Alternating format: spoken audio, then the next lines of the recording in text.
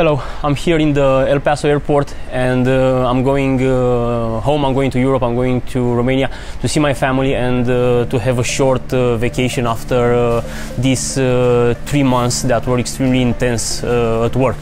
Uh, and uh, after uh, I'm uh, coming back in uh, around uh, 10 days, I'm pretty sure I'm going to be um, way more focused on the engine test and on the rocket launch. this week's episode is going to be a little bit different because we are going to focus more on the people and on the um, places from Romania. We are going to meet our colleagues from Romania that are also participating in the um, Aerospike uh, engine program, and uh, we are going to see um, places that are important in ARCA's history, uh, test locations, and so on. So this is going to be a little bit challenging for me because I'm filming this week's episode. the edit is going to be made at ARCA, but still a challenge for me. So I don't know if I'm going to do a good job or not. This is something that you're going to decide. So uh, yeah, let's start uh, this week's episode of Flight of the Aerospike.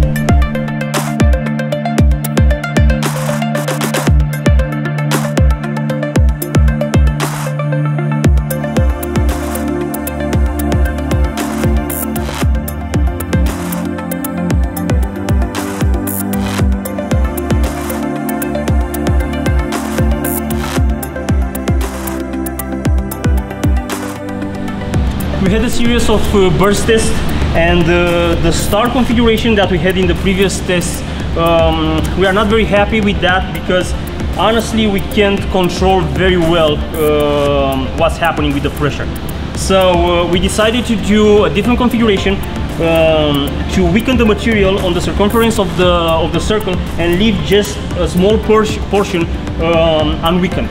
So uh, we performed the, um, the final test today, the final test for today, and uh, everything works uh, very well. We are going to uh, replicate this uh, test. We are going to make probably another three, four tests, uh, tests tomorrow, and um, if uh, everything will go as this one, then here we go. We have the, the burst disc and everything is good, and we can move forward with the next phase of the testing.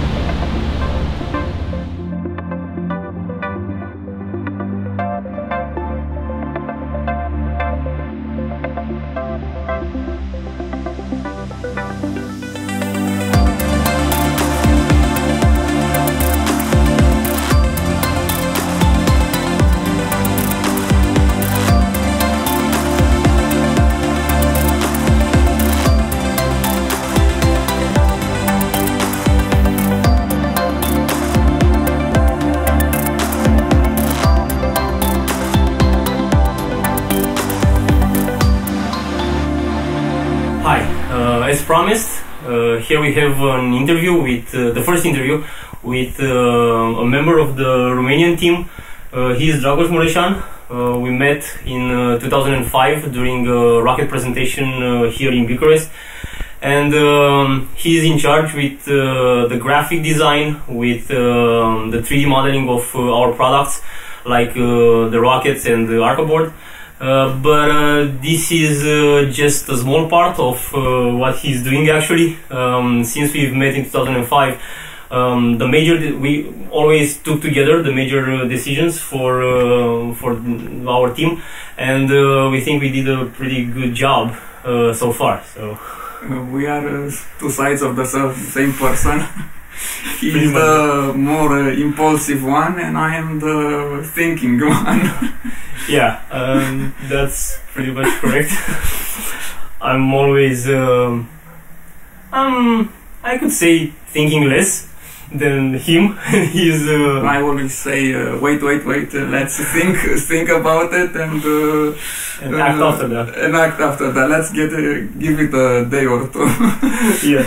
So um, there are a lot of examples when uh, we basically follow this uh, this pattern. And uh, yeah and we always uh, understand each other and uh, we know when to give in to the other person.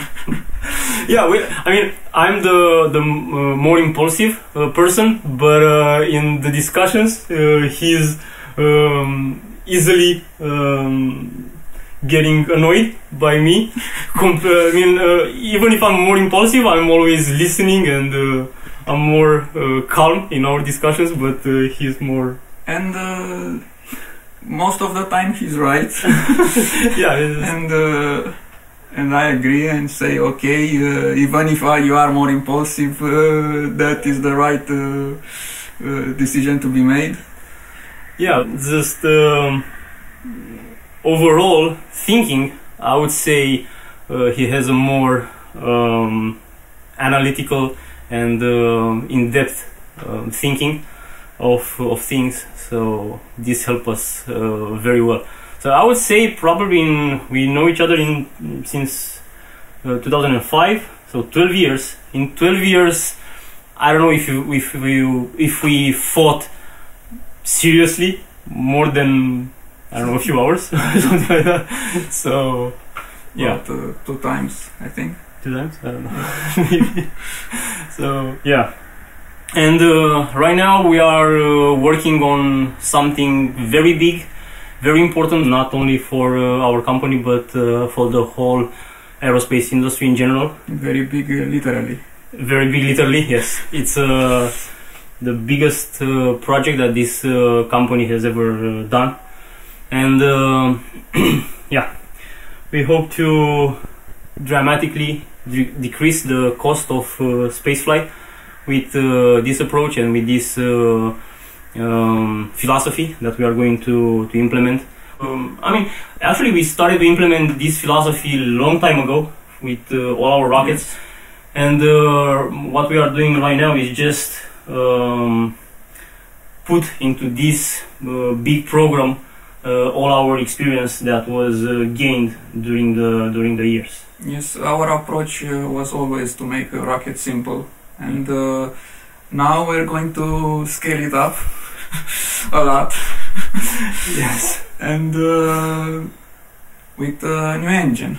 With the new engine, and um, we are going to release um, document um, at the end of uh, this year, in which we are going to present you the whole program, and uh, yeah, it's uh, we aim very high, very uh, big. all thinking about it. Yeah, thinking behind it and uh, everything, yes.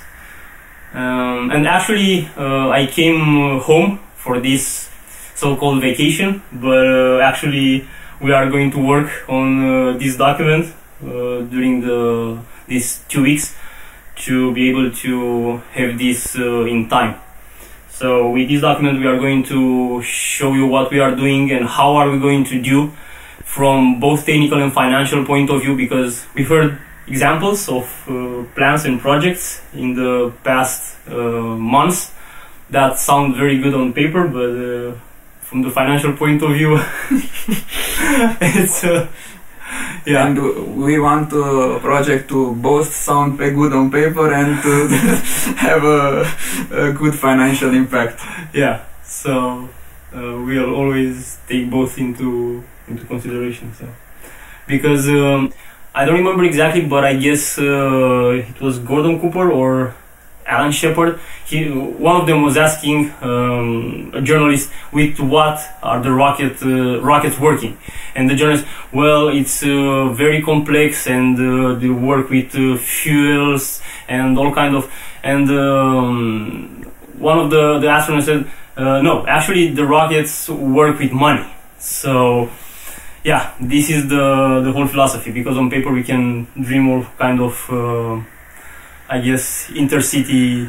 Uh, it's a very big tank that you fill it with money yeah, pretty much. and then you set it on fire and uh, we pretty much um, we can say that we are one of the most cost-effective uh, companies and uh, and teams. So um, we plan to also publish some uh, financial data, and uh, yeah, probably a lot of people will be um, will appreciate how are we able to to do these things. So yeah, others uh, probably not so but uh, you cannot always uh, please everyone yeah, probably. and uh, it is what it is yeah. So yeah, uh, this is how the uh, first interview uh, ends with, uh, in my opinion, the most important uh, member of uh, of our team uh, this company. So I'm pretty sure. Uh, I don't know. It's, it's a debate here.